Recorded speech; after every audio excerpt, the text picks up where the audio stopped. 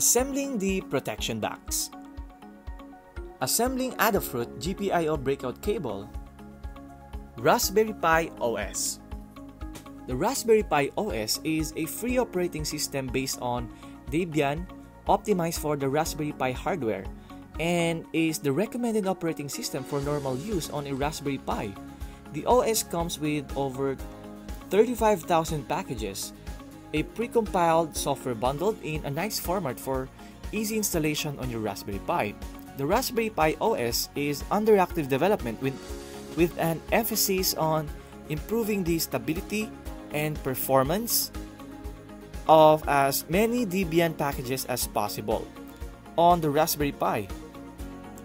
Updating and upgrading Raspberry Pi OS. It's important to keep your Raspberry Pi up to date the first and probably the most important reason is security. A device running Raspberry Pi OS contains millions of lines of code that you rely on. Over time, these millions of lines of code will expose well-known vulnerabilities which are documented in publicly available databases, meaning that they are easy to exploit.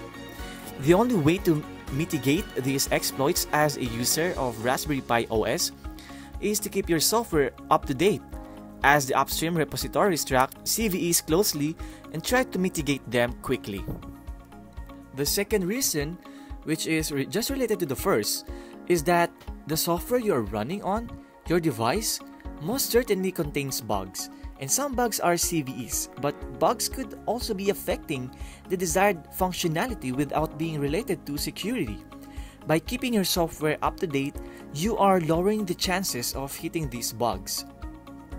Using the APT The easiest way to manage installing, upgrading, and removing software is using APT or the Advanced Packaging Tool from Debian. To update software in Raspberry Pi OS, you can use the APT tool from a terminal window.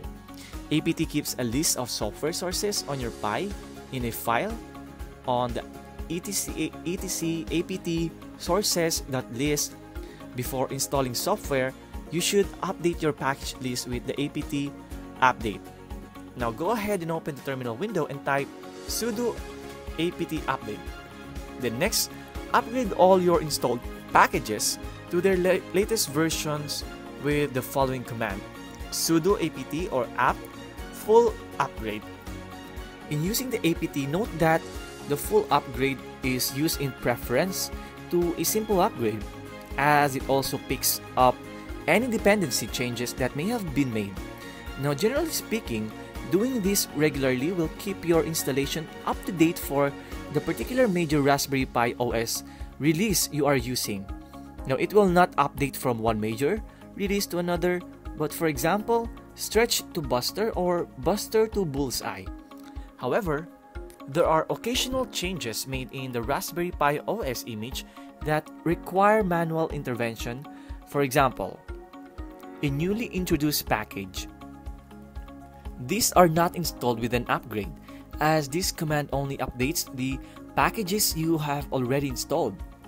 Now note that the kernel and firmware are installed as a Debian package, and so will also get updates when using the procedure above.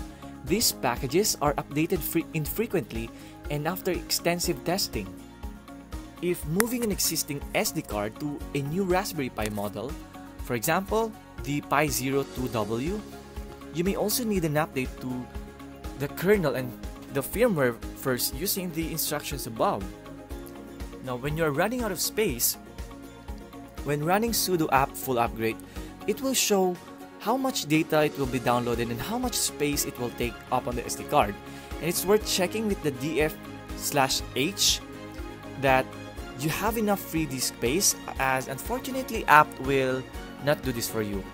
Also be aware that downloaded package files are kept in the archives and you can remove this in order to free up space with sudo apt clean.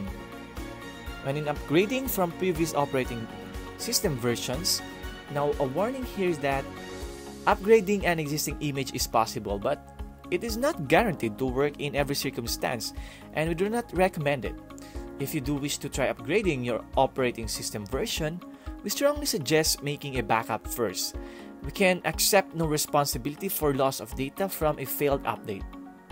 The latest version of the Raspberry Pi OS is based on the Debian Bullseye. The previous version was based on Buster. If you want to perform an in-place upgrade from Buster to Bullseye and you're aware of the and you're aware of the risk, just see the instructions in the forum.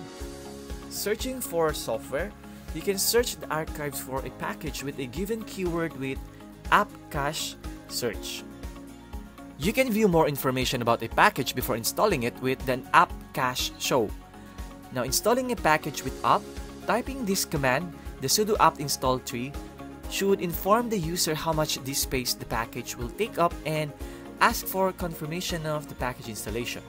Entering Y or just pressing enter as yes is the default action and it will allow the installation to occur. This can be bypassed by adding the, the negative sign Y flag to the command. Installing this package makes tree available for the user. You can uninstall a package when an apt remove. The user is prompted to confirm the removal by typing the sudo apt remove tree and again, the negative Y flag will auto-confirm. You can also choose to completely remove a package and its associated configuration files with apt purge by typing sudo apt purge tree. Installing a package with apt, just type sudo apt install tree and again, typing this command should inform the user how much disk space the package would take up and ask for confirmation of the package installation. Using RPI update